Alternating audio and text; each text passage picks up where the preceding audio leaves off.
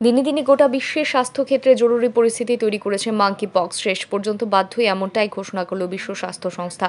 Monkey পক্সের জন্য জরুরি অবস্থা ঘোষণা করা দুটো অর্থ জানিয়েছে বিশ্ব স্বাস্থ্য সংস্থা। এক, একে সাধারণ কোনো ঘটনা নয় বলেই বোঝানো, যার অর্থ এটা অন্যান্য দেশেও ছড়িয়ে পড়তে পারে। আর দুই, হলো যে এর বিরুদ্ধে যৌথভাবে লড়াই করা দরকার। বিশ্ব স্বাস্থ্য সংস্থার শনিবারের এই ঘোষণায় মাঙ্কি পক্সের চিকিৎসায় বিনিয়োগ যেমন বাড়বে তেমনই দুষ্প্রাপ্য ভ্যাকসিনগুলো পাওয়া আরও সহজলভ্য হবে। কয়েক দশক ধরে মাঙ্কি পক্স মধ্য পশ্চিম আফ্রিকার কিছু অংশে টিকে আছে, তবে এটি মহাদেশের বাইরে বড় ধরনের প্রাদুর্ভাব ছড়ায়নি।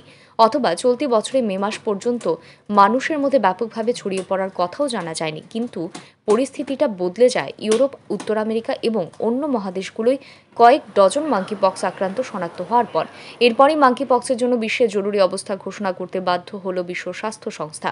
বিশ্ব স্বাস্থ্য সংস্থা এর আগে জনস্বাস্থ্য সংকট যেমন করোনা অতিমারি, পশ্চিম আফ্রিকায় ইবোলার প্রাদুর্ভাব, লাতিন আমেরিকায় জিকা ভাইরাস এবং পোলিও নির্মূল করার ডাক দিয়েছে। সেগুলোর জন্য জরুরি অবস্থা ঘোষণা করেছে।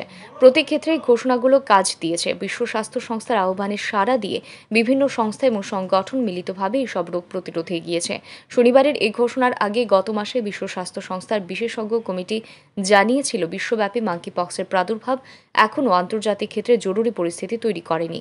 তবে পরিস্থিতি পুনর্মূল্যায়নের জন্য বিশেষজ্ঞ কমিটি এই সপ্তাহে ফের বৈঠক করবে বলে জানিয়েছিল। US centre for disease control and prevention সংস্থা তথ্য অনুসারে মে মাস থেকে বিশ্বের চুয়াত্তরটি দেশে ষোলো হাজারের বেশি মাংকি পক্সে আক্রান্ত হওয়ার ঘটনা ঘটেছে। ব্যুরো রিপোর্ট রাজেস্ট নিউজ।